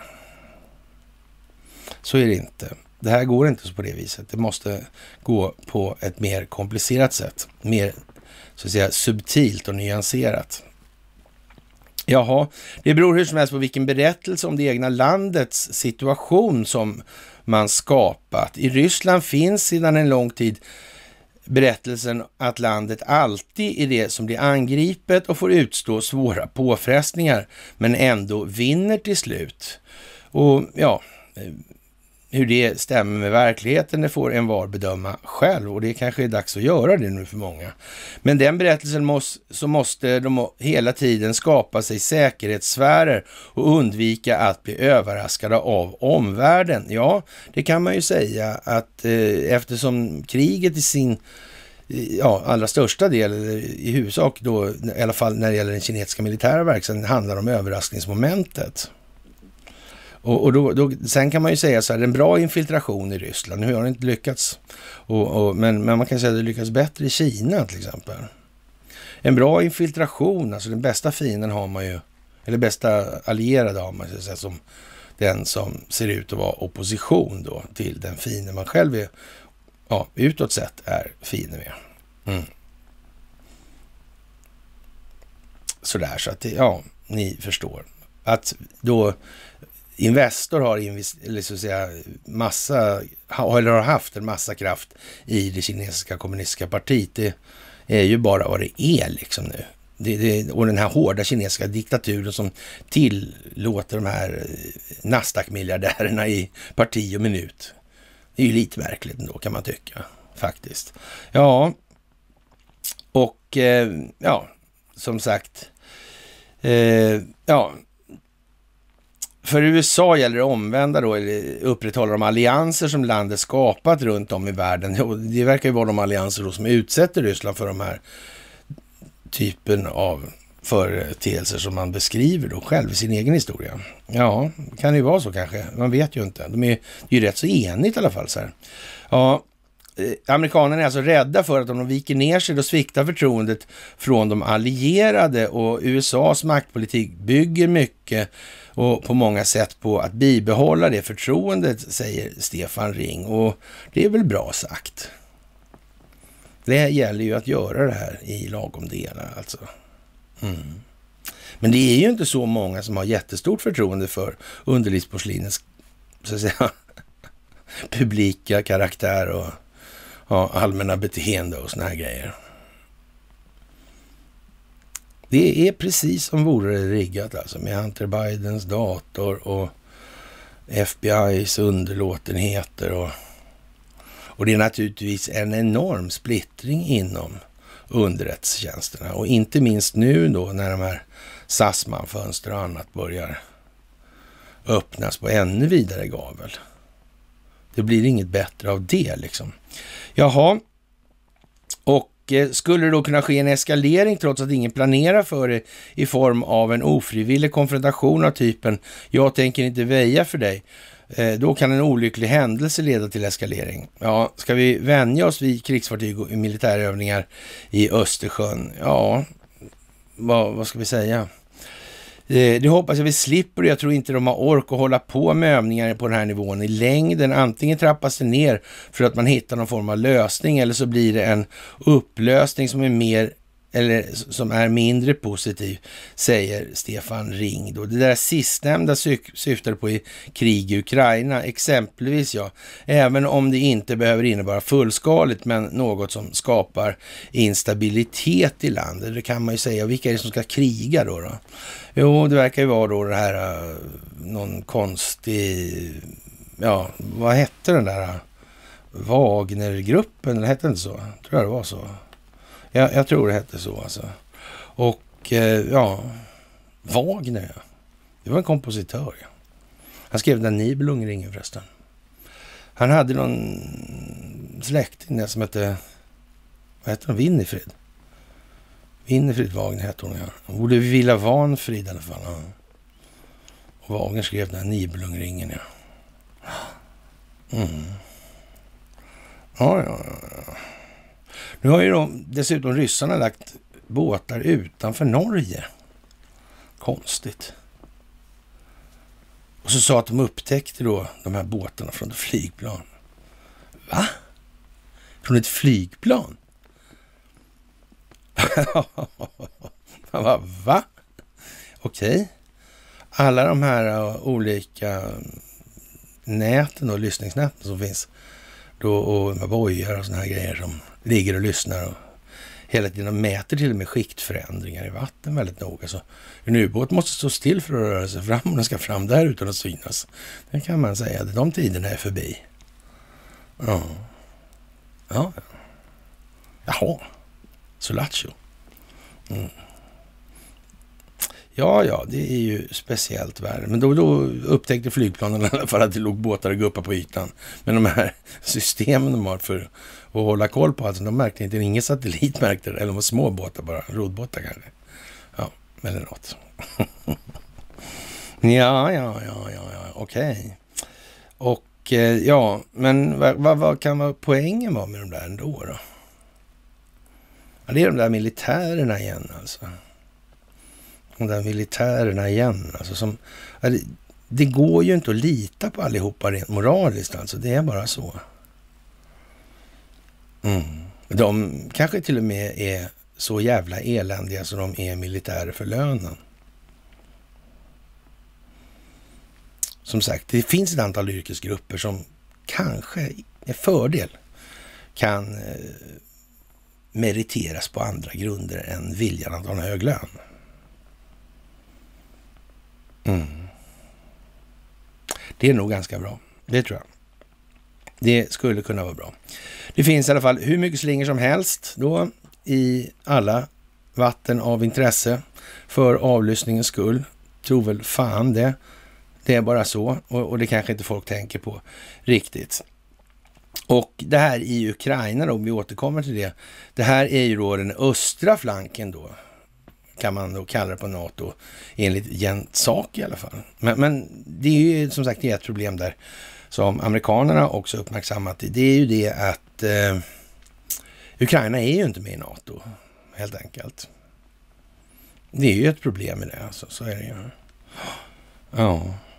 Och, och sen finns det ju en annan detalj det här med den här ja, ryssarnas då, den här Wagnergruppen då som ska sköta det här kriget, inte vet jag liksom. Mm. Det är legoknektar alltså. Men eh, ja, det här företaget, är, är det Kremls verkligen det där? Det är inte finansierat någon annanstans ifrån möjligen. Och man har låtit det ske på det viset. Man skulle kunna säga att risken för att det är finansierat av CIA via slashfonder förefaller rätt överhängande. Milt uttryck är det va? Mm. Ja, ja, ja, ja. Så kan man ju säga. Så det blir lite grann de här uh, utlovade 8500 som har satts i höjd beredskap nu från underlivsporslinet. Ja. Vilka är det de ska bråka med då? Det är ju en Wagnergrupp. Men det, då är det USA mot USA i den delen då i så fall. Ja. Och då tror väl fan det att det Ja. Krävs lite förstärkningar vid gränsen. Ifall de håller på på det där viset. Eller rättare sagt, tecknen på att de håller på på det här viset, det är just förstärkningarna vid gränsen. Om man så säger. Mm. Det gäller alltså att vakta mot falskflaggor här som man ska komma från skulden för. Ja. Men de är, ingen är medveten om det här alltså. Det här som händer nu händer bara ändå.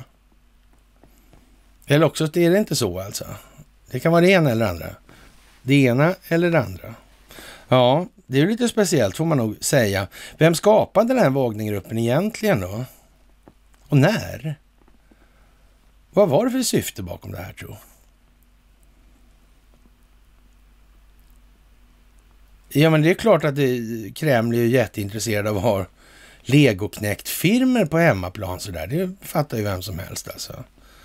George Soros och regnskogsrevolutionen där, eller regnbågen, med regnskog. Ja, de, det är miljö också. Mm. De, de, eh, de, är inte okej. Okay. men eh, de är okej, okay, de här. Jaha. Ja, ja. Det är ju som det är med den gamla mytologiska historien.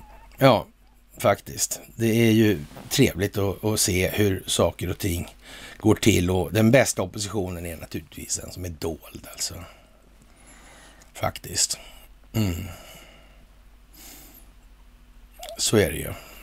Men som sagt, det här har man varit medveten om sen, ja, hur länge sedan som helst. Och varför jag säger det, hur länge den har funnits då? Ja, då kan man ju se ungefär när den skapades då så kan vi nog ganska lugnt utgå ifrån att då var det i säck. Så det räcker och blir över och det var ju långt tidigare än det också, men bara som ett exempel alltså.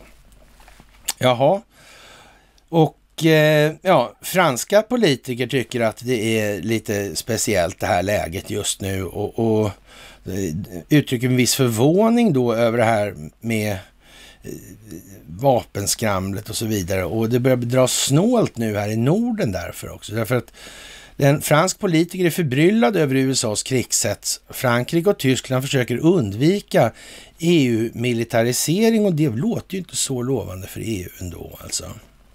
Det gör det ju faktiskt inte. Nej, det kan man inte säga.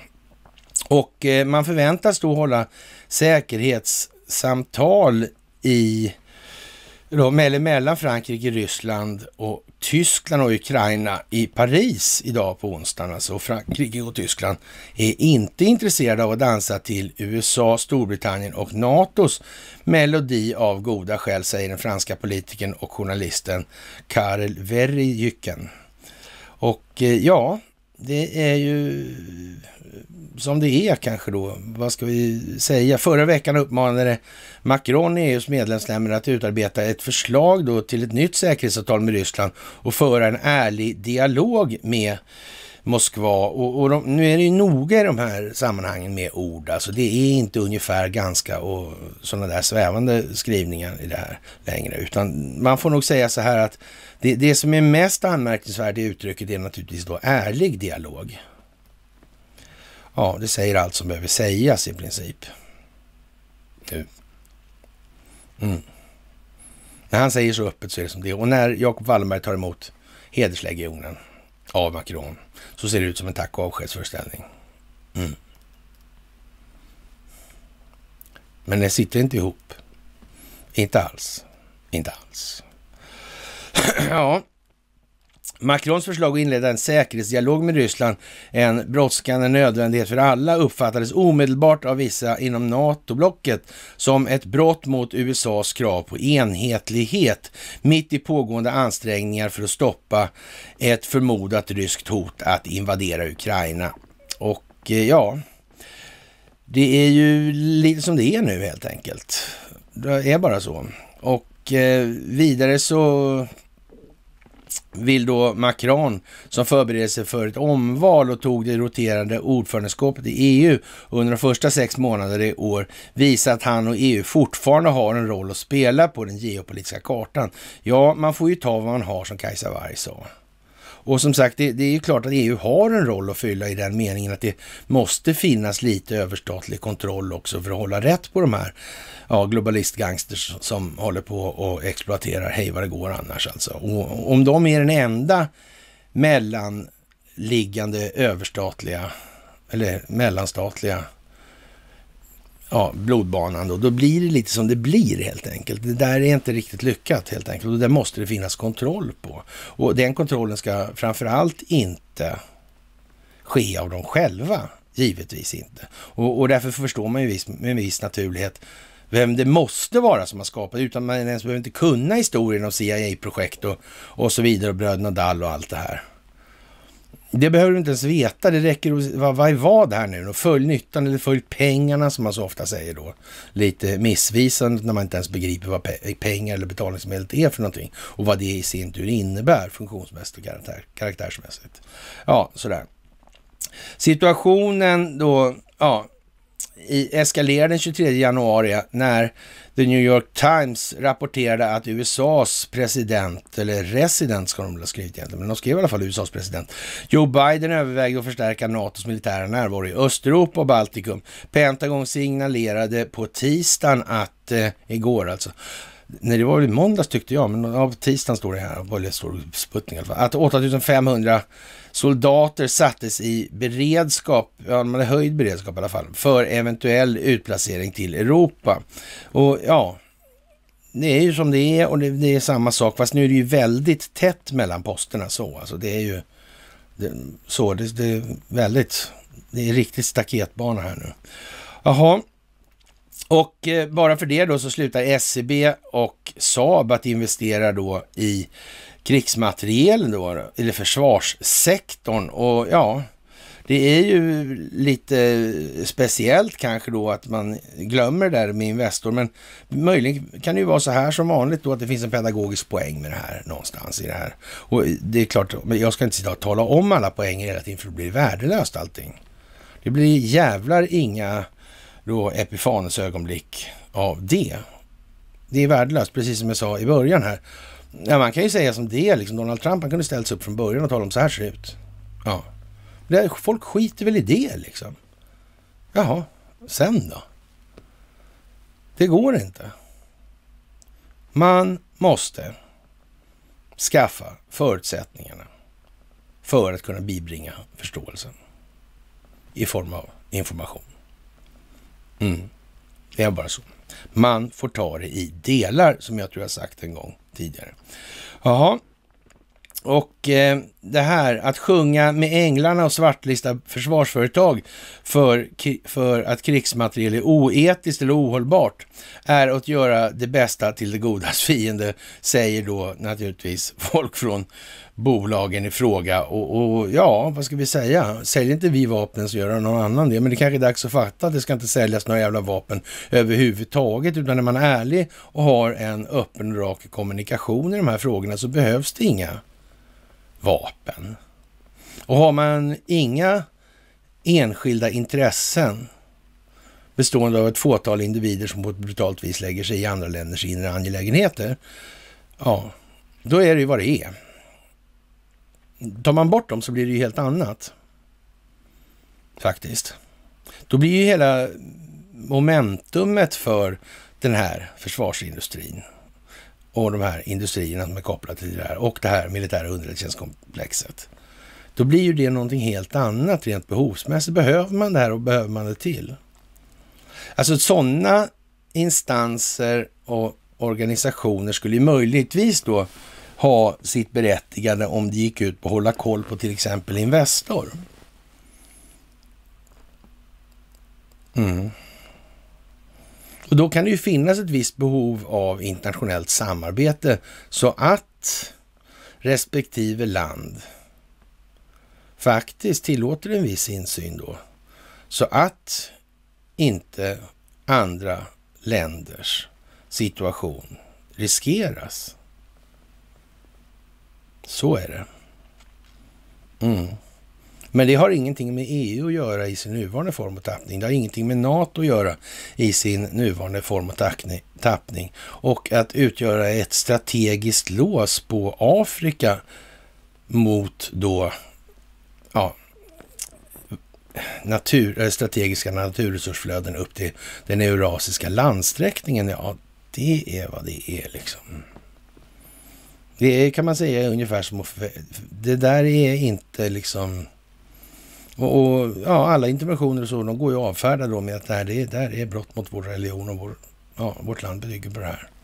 Alltså, så frågan är om det är riktigt rimligt. Ja, tvåstatslösning, den metod i alla fall manifesterar konflikten ordentligt. Alltså, den cementeras då. Ja. Mm. Och någon enstatslösning är de som skriker på enstatslösning, är de inte egentligen intresserade av. Då kommer det bli som det blir. Det vet man om. Men det måste bli som det blir i alla fall, helt enkelt. Och jag tror många faktiskt.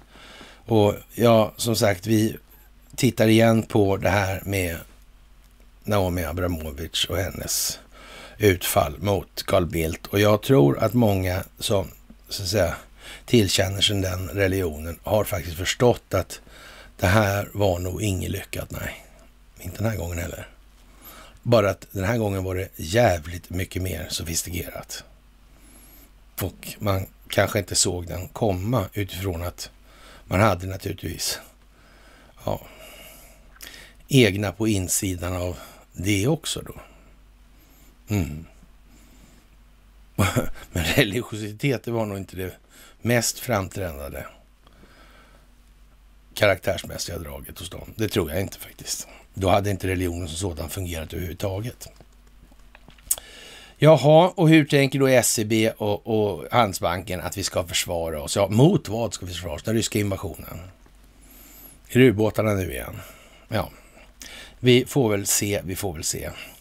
Och eh, Nancy Pelosi har gått ut med att hon tänker faktiskt eh, ställa upp för omval.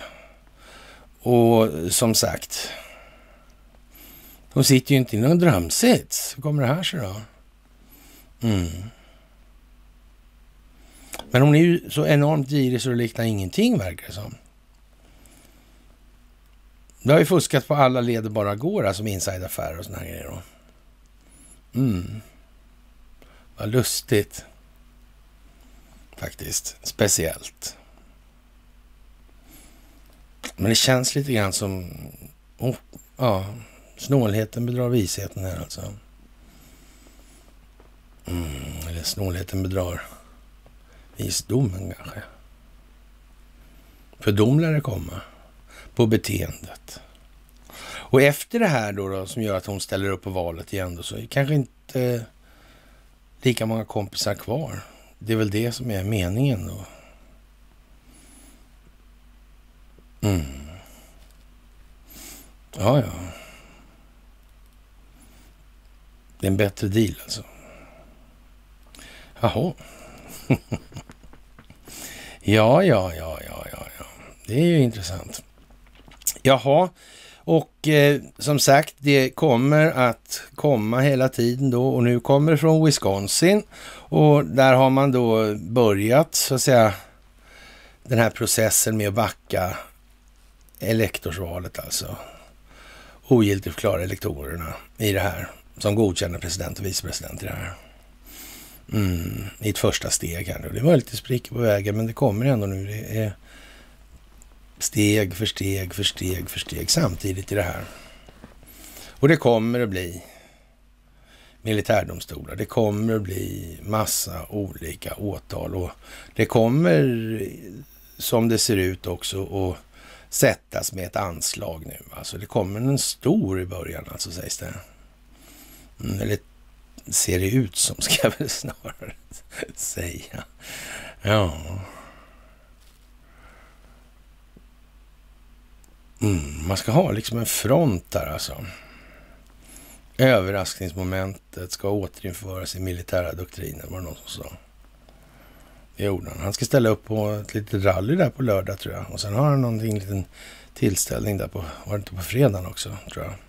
Ja, ja, hur som helst det här. Det innebär ju någonstans i alla fall att när det går så långt som man kommer till det där, då innebär det att det är ett par veckor bort till det här kan vara aktualiserat och gå i verkställighet. Och det, det, är ju lite speciellt får man säga. Så har vi aldrig haft det tidigare nu. Och då kan man väl säga så här, då måste ju en hel massa, alltså massa, massa geopolitisk utvecklingen, eller geopolitisk utveckling, alltså sekvenserna ur olika perspektiv. Så här. Det måste ju ta vid liksom nyss i den meningen då. Det kanske man ska tänka på nu. Det kanske man ska tänka på nu. Mm. Nu kommer det att bli en jävla konvergens på förloppen. Det är bara att se så. Och eh, ja, som sagt, det är massor med saker som händer och eh, en av de saker saker som händer är till exempel att Lukasjenko går ut och säger då att, eh, han sa för länge sedan då i juli 2020 då att IMF erbjuder dem en muta på 940 miljoner US-dollar i form av covidhjälp i utbyte mot, ja, säg, mot 940 miljoner dollar då så skulle han då, skulle presidenten köra det här covid-racet då. Och Naturligtvis blev det inte så. Och, och, och Lukasjenko, han säger ju istället att liksom den här covidiotin, det är ju någon form av eh, ja, vad ska man säga, mental åkomma eller vad ska man säga, en vanföreställning rakt igenom. Och efter den här slut ska han berätta hur det fungerar och hur, hur det ser ut egentligen. Och ja, vad ska man säga, det är ja, som det är bara.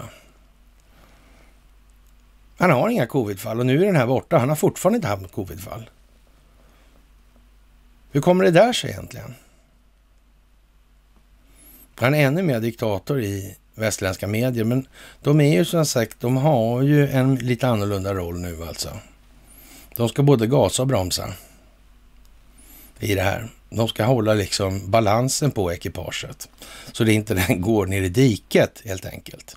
Jaha, och och eh, Ukraina är överflödat med ja, amerikanska och ja, amerikanska och NATO-vapen då och eh, rådgivare då som man brukar säga då, eller förbandsinstruktörer som man säger på svenska då. Och eh, ja, det påstår ryssarna i då FN. Jaha. Tänka sig, det var konstigt. Och det är väl liksom märkligt. Hur kommer det här sig egentligen? Mm. Man inte bygger reguljärt så. Nej. Vad märkligt. När gick Comey i fällan, tog vi upp där. För det måste väl vara så här alltså. Och en sak som inte kanske folk tänker på så där mycket. Hur, hur ser de här farligaste jävlarna ut jämt alltså?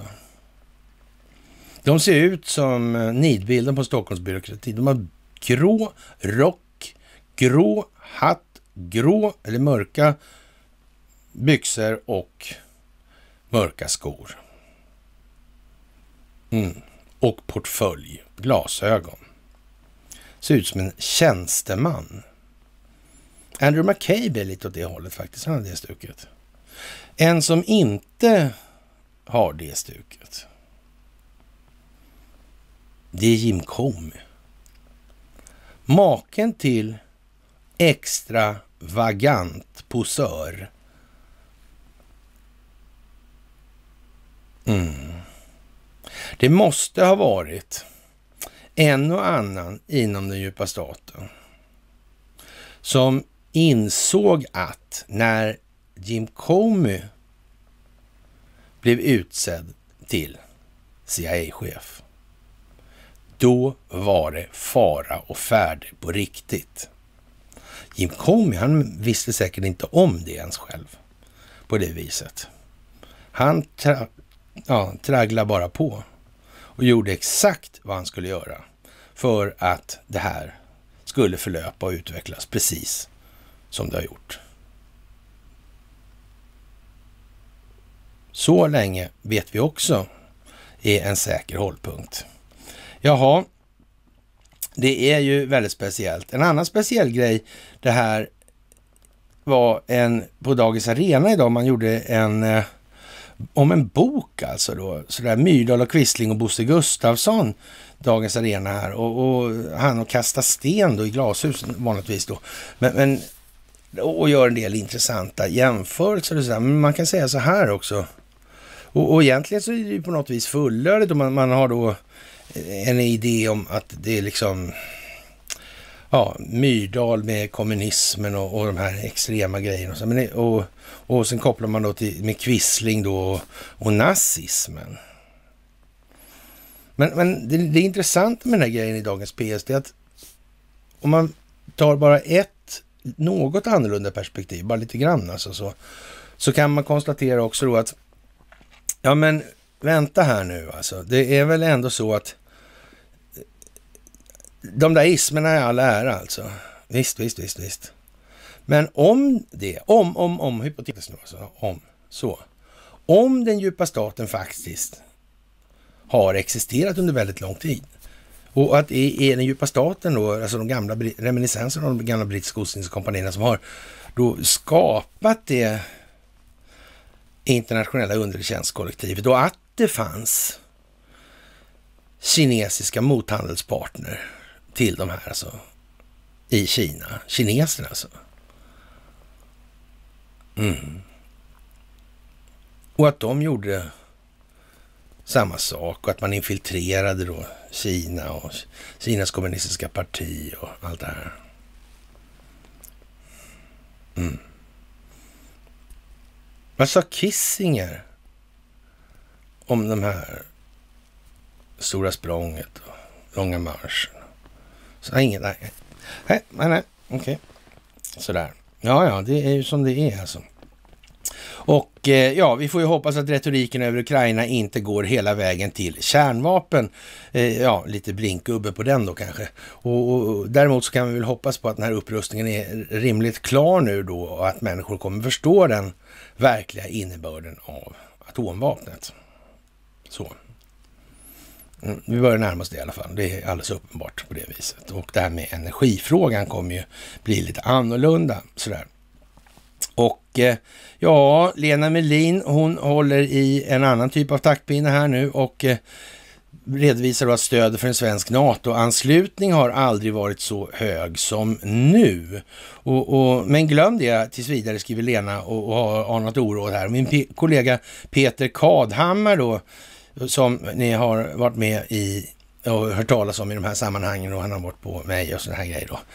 Och massa och eh, ja, han skrev i en kolumn igår att han trots, eller tack vare det, sin vänsterradikala bakgrund kommit fram till att Sverige bör gå med i försvarsalliansen NATO. Han är inte ensam om den uppfattningen. Enligt Aftonbladet Demoskop tycker nästan hälften av alla hans väljare, då, eller väljarna, 48 procent, att vi borde gå med i NATO. Det är den högsta siffran sedan Demoskop började ställa den frågan. Och det här är ju naturligtvis jättespeciellt i det här läget att den här undersökningen kommer just nu. Och vore det inte just en ödets ironi alltså? Att, eh, ja, eftersom så många är positiva till det här då och att ja, vi har inget val eftersom då den östra flanken går ju, verkar ju gå lite sådär. Om ska man vara riktigt kritisk så verkar det gå helt åt helvete alltså. Ja, och det ser ju inte bra ut där alltså. Och då måste vi kanske förstärka den norra flanken, eller då måste NATO förstärka vid den norra flanken, alltså upp mot Norge. Det går ju liksom inte att ha att de dräller in i Sverige till höger och vänster där och ger sig på Norge. Det går inte. Då har ju liksom, det där går inte. Nej. Nej. Så, så liksom, det är klart att vi måste ha lite understöd och det kommer ju svenska politiker givetvis förstå direkt och, och i den mån de inte redan är instruerade om att de ska förstå det så kommer de att förstå det i så fall då. Ja. Det är bara så. Mm. Då vore det ju för jävla segt alltså. Om det här valfusket då, eller då de börjar dra tillbaka elektorsrösterna. Vem fan är det som blir president då? Nej, det kanske inte blir då. Eh, alltså, vadå? Det där verkar vara en röra. Det verkar vara mycket processer och grejer. Någon form av, så att säga, upprätthållande förvaltning måste det ju faktiskt eh, finnas då, i alla fall under tiden. Vem kan det vara då? vem är satt att bevaka konstitutionen och skydda befolkningen i så fall? Om det blir presidentlöst. Det går inte att säga att det är automatiskt Donald Trump liksom. Det, det verkar lite för risky business helt enkelt. Och, och, det är väl vackert så liksom. Det får man väl anse ändå. Ja. Vad det blir efterhand senare, det är lite av en annan fråga kanske. Och eh, ja, det här har då manifesterats på olika sätt de senaste turbulenta veckorna sedan Ryssland började sätta press på USA för att få bestämma över andra länders utrikes och säkerhetspolitik. Till exempel skulle varken Sverige eller Finland få gå med i NATO. Ja, vad ska man säga? Det är ju lite sådär, antingen finns den djupa staten eller så finns den inte. I Lena Melins värld är det nog inte. Skulle vi kunna utgå ifrån helt enkelt. Och eh, ja, efter mötet som man hade med Stoltenberg och, och, Finland och Sverige då är, är NATOs viktigaste partners då, de här Sverige och Finland. Det hade man ju inte kunnat tro, skriver Lena Melin. Och vad menar hon egentligen här? är hon faktiskt på bollen lite grann nu för att hon är tvungen? Det hade man inte kunnat tro. Det hade alla som tittar på det här kunnat tro helt säkert faktiskt. Och eh, ja, det där är lite eh, eljest kanske. Det hade man inte kunnat tro. Nej, hade man inte. Nej, inte med gängse samhällsprogrammering. Det kan nog vara så, absolut. Det tror jag också. Jaha, och ja, det är väl lite sådär eh, speciellt. Och som sagt, 48 procent är ju en del alltså. Det, Finlands känsliga läge med en lång, lång gräns mot Ryssland medför dock att det är de som håller taktpinnen. Först en dag som Finland anser att det gynnar dem att gå med i NATO, så kommer Sverige också att göra det. Ja. Mm. Ja, det här är ju en mycket tillspetsad situation nu, det måste man säga. Det är inte att ta miste på. Och man kan vara helt, helt säker på att allting är planerat och beräknat. Som Charles Ingvar Jönsson skulle sagt, in i minsta detalj. På tal om minsta detaljer så kommer då den amerikanska generalen Flynn, då, eller för detta, han är fortfarande general förresten. Och ja, vad ska man säga? Man kör ju spelet helt enkelt. Det här riskerar ju massor med amerikaners liv och så vidare. Och, och det är ju så att säga, avpopularisering big time nu för Joe Bidens vidkommande, eller underlivsporslinets vidkommande ska vi väl säga då kanske.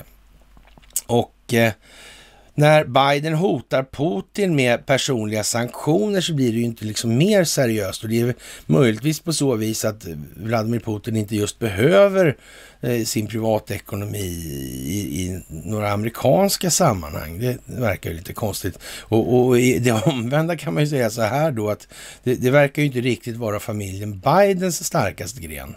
Så. Kanske. Ja. Och, och möjligtvis kan man ju säga så att den här Oleg Deripaska då, han med pennan ni vet, när de här eh, industrialisterna skulle skriva på papper och han fick lämna tillbaka pennan, vi har tagit upp det massor med gånger. Ja, eh, då kanske han ska begränsas då, eller så får man lite mera spin-off i det då kanske, jag vet inte. Men, men, men det är som det är liksom nu. Jaha, forskare vill se varningstext på processad mat och det är ju faktiskt lite skönt sådär. Vi tar lite sådana här små, små lätt smälta grejer här nu. Och eh, ja, vad, vad, ska vi säga? Irländska fiskare ska stoppa rysk militärövning. Det verkar ju fantastiskt helt enkelt. Och jag är rätt så säker på att eh, många kommer sluta chatta om det där covidiska inom kort. Jaha, och Boris Johnson, han kör på som vanligt. Och eh, han tror det här kommer ge allmänheten den klarhet som behövs gällande det här som ska redovisas under eftermiddagen idag då, då gällande hans festande. Och när, när det gäller att uttrycka sig ska man absolut inte underskatta Boris Johnsons förmåga. Det kan man säga hur lätt som helst helt enkelt. Och eh, ja, Biden-familjen har ju fått lite stålar från olika håll då som är kopplade till den kinesiska underrättelsetjänsten sådär. Och det vet jag inte om det heller är sådär helt lyckat ur alla perspektiv. Kanske inte.